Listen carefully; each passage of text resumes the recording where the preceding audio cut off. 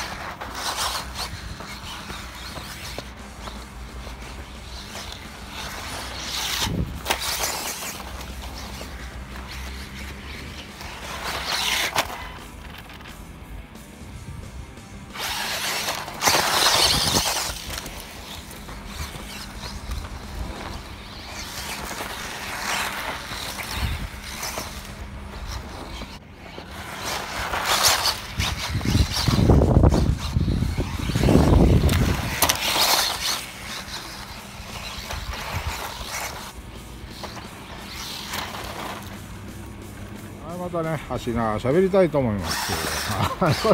まあ一応ね、えー、DT03 のノーマルタイヤこれ。うん、02とか03のノーマルタイヤかな、うん、はいあノーマルタイヤね走っております。はい。あの砂をねかなり多分うちの電池はねかぶっておりますのでね撮影時に。あこんな感じでねあかなりね、えー、おお気軽な感じで喋る走れますよ。あかなり安定してね。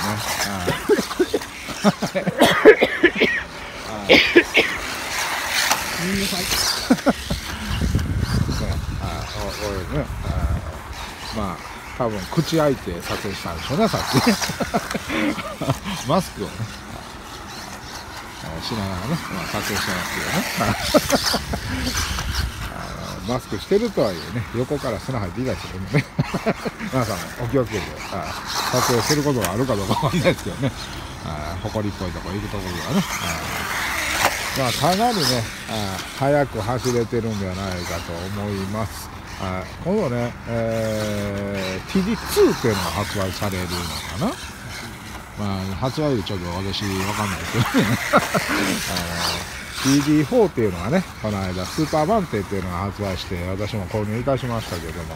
ああそれのニックバージョンがなんか発売されるということでね、あ楽しみですね。このシルバーアクスコンバージョンの DT02 とね、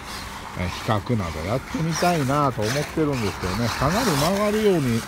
なってるのかなとは思います。ただ、あの、オフロード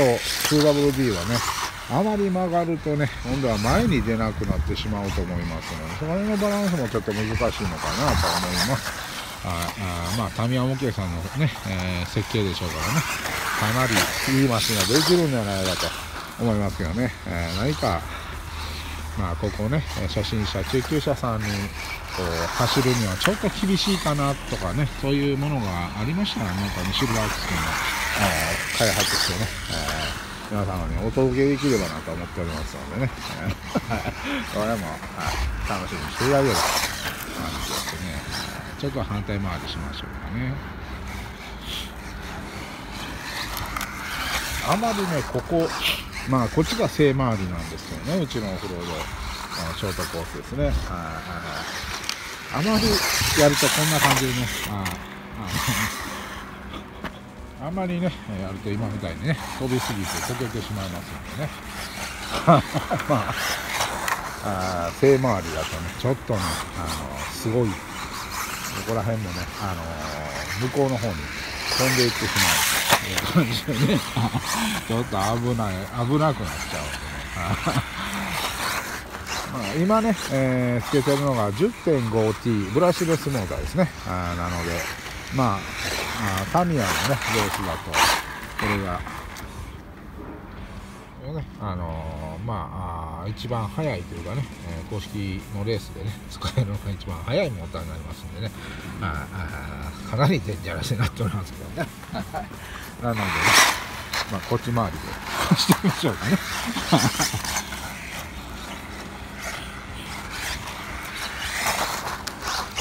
あ、スピードを出すのも面白いんですけどもね。おすすめはあのエンジョイラジコンされてる方とかはね、うん、スポーツチューンモーターっていうのがねありますのでタミヤモはね。それが一番おすすめです、え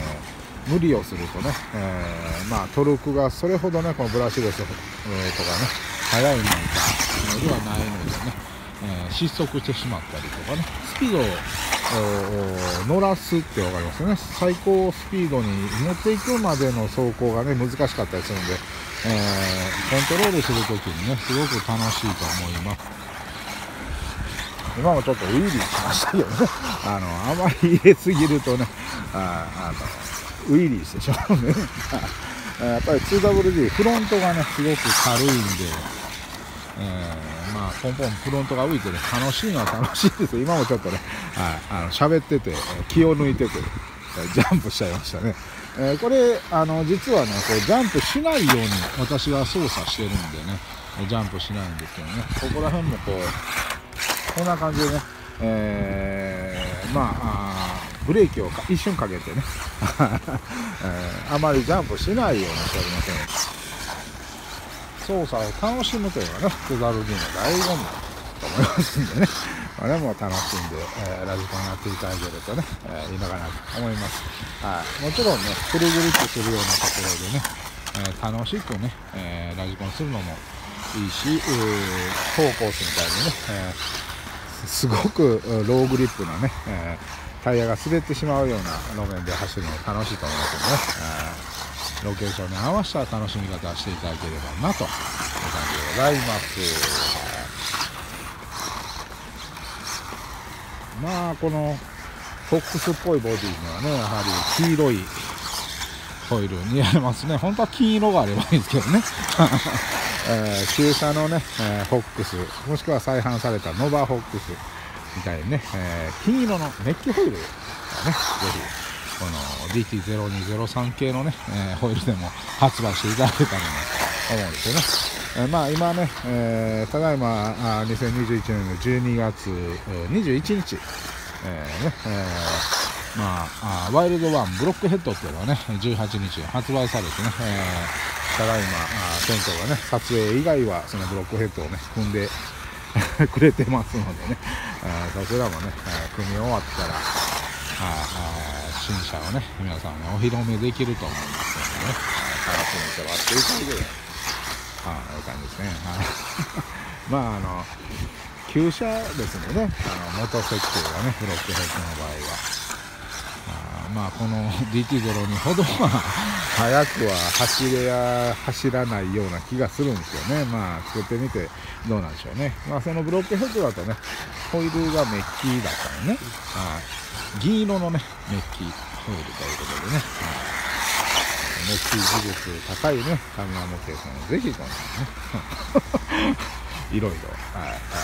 オフロード。2区4区最新ホイールねこういう感じのちょっと彫りが入ってる深いようなねあのこれはぜひ、えー、メッキホイール出していただきたいと思います、はい。まあ、自分で塗ってもいいんですけどやはりね、えー、メーカーさんがメッキされたものは綺麗に見えますけどね、はい、ぜひメッキしてくださいねということで、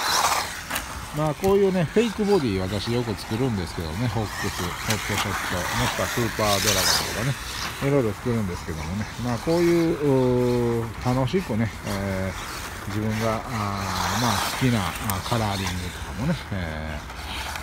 ー、塗って、えシールがあればねこんな感じで、えー、旧作風に作ったりとかできますのでね皆様楽しんでいただければなと。思いますからワイルドワンとかねそれこそアタックバギーとかみたいなね形の本当のバスタブシャーシみたいななんていうのね四角いシャーシの新しいマシンもぜひ出していただきたいと思いますけどもね、えー、レースレースよりはね、え楽しく走る、